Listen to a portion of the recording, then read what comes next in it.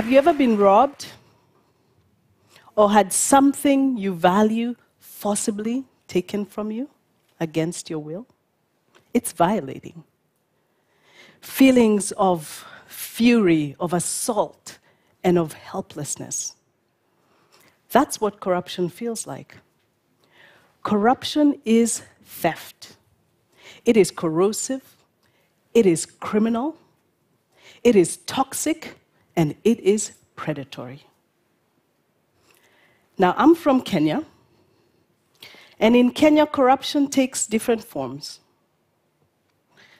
I want to share the story of Karura Forest with you. This is my hometown of Nairobi. I love Nairobi, it's beautiful. But it is a city of paradoxes. It is at once beautiful and challenging. But at the heart of this beautiful city that I call home is Karura Forest.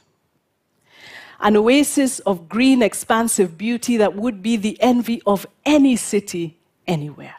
We almost lost Karura Forest to corruption.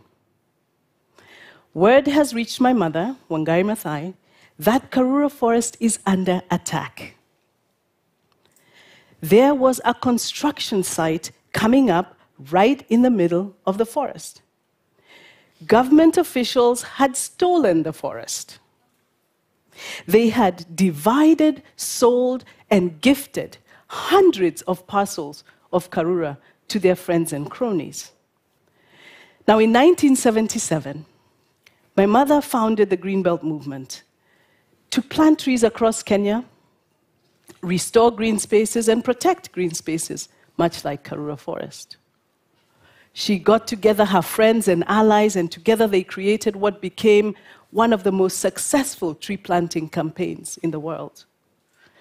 It was therefore no surprise that when word got to her that Karura was under attack, they immediately sprang into action. They battled police and hired goons to stop the theft of this forest. But fortunately, there was an uprising of support from the clergy, politicians, students, and the general public, all of whom came out to say no to corruption and greed. And pretty soon, that support was too strong and intense for the authorities to subdue, and Karura Forest was saved. In the 2000s, I joined my mother the Green Belt movement and witnessed the growth of the movement's advocacy activities, its expansion beyond Kenya, and an extremely important growing consensus around the 2004 Nobel Peace Prize that she received, that the environment, democracy, and peace were inextricably linked. I also learned that what my mother had faced that many years ago trying to protect Karura Forest was not an isolated incident. The corruption and greed that manifested itself then is alive and well today.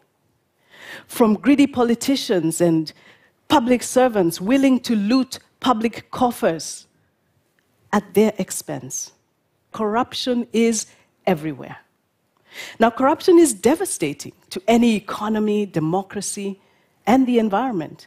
It robs citizens of vital social services and renders human life worthless. When young men are willing to join gangs, and brutalize their communities for a small fee. And women are raped on the way to work, and when they report this, the perpetrators bribe their way out of jail. And when young girls have to sell their bodies to buy sanitary towels, you know the society is broken. In recent years, Kenya has been ranked amongst the top 10 most corrupt countries in the world. Even more frustrating for me is that Kenya loses a third of her national budget to corruption each year. That is $6 billion. dollars. It is totally unacceptable. in a country where anti corruption efforts have been frustrated and ignored and interfered with, we absolutely need new strategies for dealing with this vice. We cannot complain forever. We either decide that we're going to live with it or we're going to change it. There's some good news. Human beings are not born corrupt. At some point, these behaviors are fostered by a culture that promotes individual gain over collective progress. So, if we're going to uproot corruption, we have got to start before it ever takes root. We have got to intervene early. I don't know about your country, but where I come from, youth will lead us into the future. In Kenya today, 80% of the population is under the age of 35. But by their own admission, they have conflicting values. 58% of young people in Kenya recently told us they will do anything to make money. An additional 45% said corruption is a legitimate tool for doing business. 73% said they would not be willing to stand up for what they believe in for fear of retribution. What I learned from my mother a few years ago was this concept of the power of one. That each of us can be potent agents of change, and that together we are a force. That if we put our hands together, we can change the situation, and no problem is too big.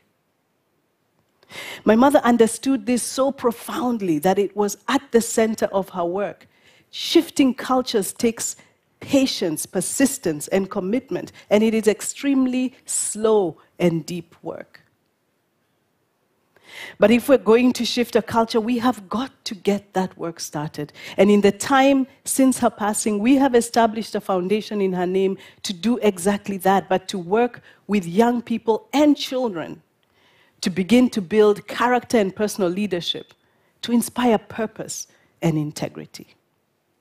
But fighting corruption is not as easy as saying corruption is bad. Now, here are three strategies that we are employing that we believe can be replicated in any school community. First, we must understand the why. Why does corruption happen in the first place?